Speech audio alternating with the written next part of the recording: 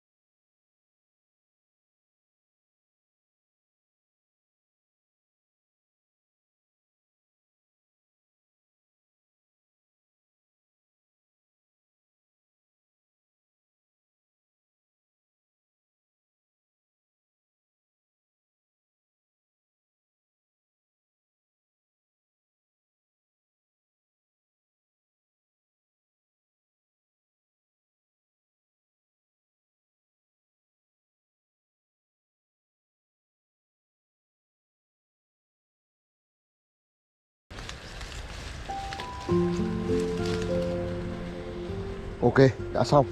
Đấy. Đấy dựng đấy là nhiều lắm này